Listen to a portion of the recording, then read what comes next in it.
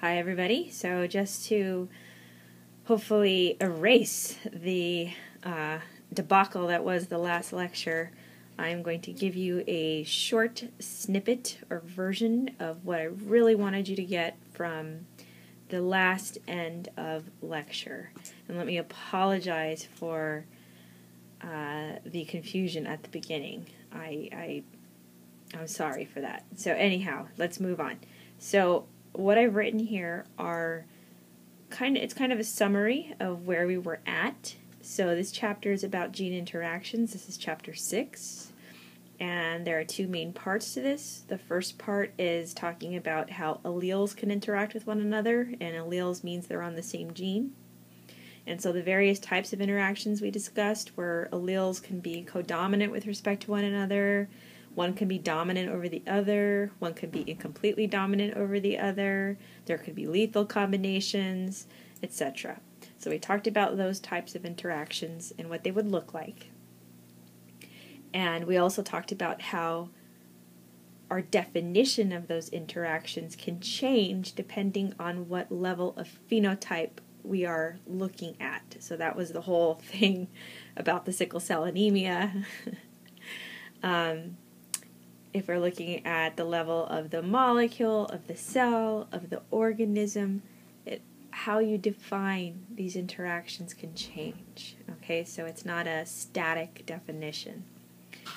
Okay, so we're moving on to multiple gene interactions. And the first part of this this section is to define whether or not you are dealing with multiple genes. So let's look at how that analysis is done. Okay, so for this analysis, it involves having two mutants. So, so let's say, for argument's sake, that there is a flower that is normally pink, as you see in the picture, and I have acquired two mutants that are both white. Now, my big question is are these two mutants white because they are mutated in the same gene, this right here, or are they both white because they're mutated in, they just happen to be mutated in different genes that make them the same phenotype, that make them white. So let us see what that would look like.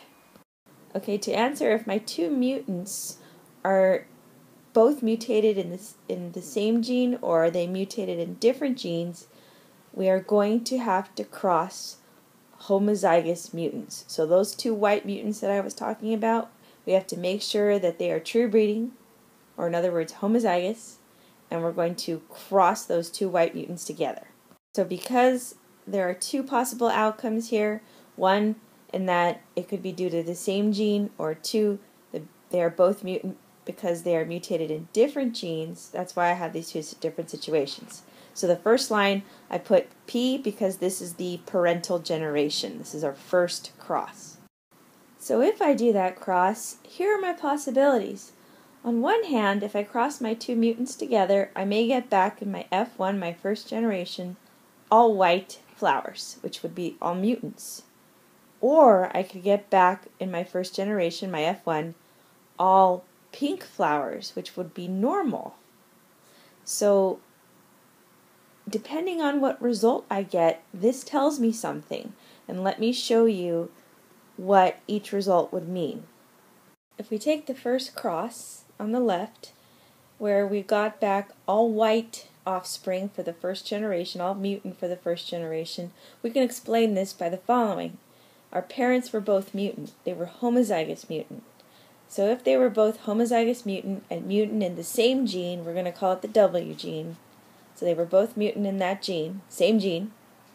Then obviously the first generation or all the offspring that could come from this parental cross would be mutant offspring. That's the only possibility. So that's if they are both mutant in the same gene, the W gene. So let's take the right hand side, the other possibility where the same cross, which is where we took our two homozygous white flowers and we crossed them together and we got back all pink offspring in the first generation, all normal offspring. How could we explain this if this happened? Well, the, pos- the explanation for this result is that they are mutant in different genes.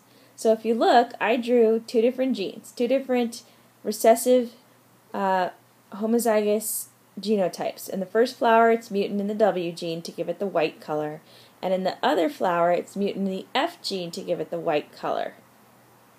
So this could happen. There could be two different genes that could lead to the same phenotype. We could have that, absolutely. So how does that lead to pink offspring? Well, in order to show you this, I have to make sure that I keep track of both of those genes for both parents. So let me fix their genotypes to reflect both genes.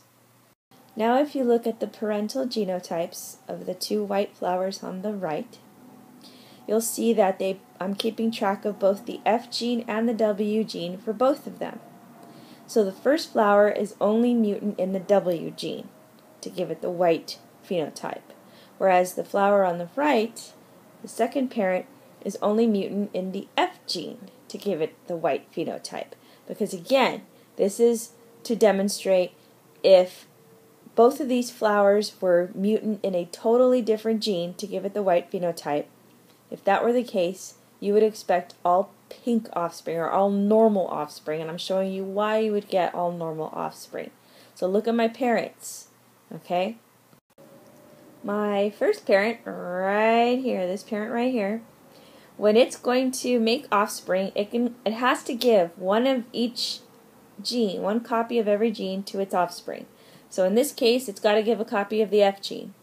And the only possible F allele that it can give is a dominant one. So we might as well give our offspring one dominant F because that's going to come from that parent.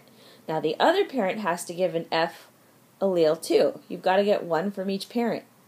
So the parent on the right, uh, this parent right here, can only give a recessive F. So that means any offspring are going to get a recessive F from that parent. So now look, our first genera generation offspring are always going to be heterozygous for the F gene, which means they will not be white due to two recessive Fs. They, they will be pink according to the F gene, but we still have to look at the W gene because apparently you can also be white if you have two mutant Ws. So let's see what we, we, we would get for the first generation offspring. From parent 1, we are only going to be able to get a recessive W from that parent. So let's write down a recessive W.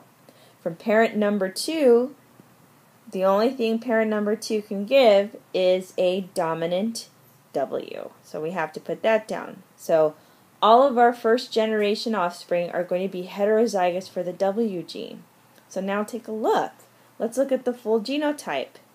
Your heterozygous F and heterozygous W both F and W, if you were homozygous recessive for either one, you could have been white. And we know that because if we look at the parents, again, right, parent number one was white because it was homozygous recessive for the W gene. Parent number two is white because it was homozygous recessive for the F gene. Our offspring are not homozygous recessive for either one. Therefore, the first generation offspring, the F1, are all pink. This is called complementation. If you cross your two mutants together and you get back in your F1 all normal offspring from two mutant parents, we know that they complemented one another. The normal F copy allele here masked what was going to get what was going to come from that parent. And then the normal W genes here masked what was going to come from the other parent. So you became or you created heterozygous offspring for both genes. So they're all normal. Complementation. Complementation means that your two mutant parents are mutant because they are mu mutated in two different genes.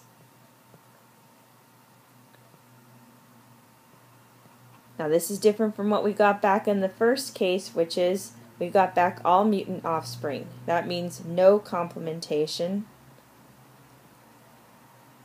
And that means that the two mutants are mutated in the same gene?